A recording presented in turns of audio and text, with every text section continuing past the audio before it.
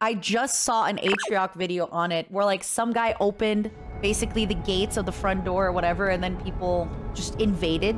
Did you watch Big A? Of course. I mean, I've talked about Ludwig a lot, and I feel like Big A is just Ludwig's extended universe. Is he not? Mr. Glizzy Hands himself.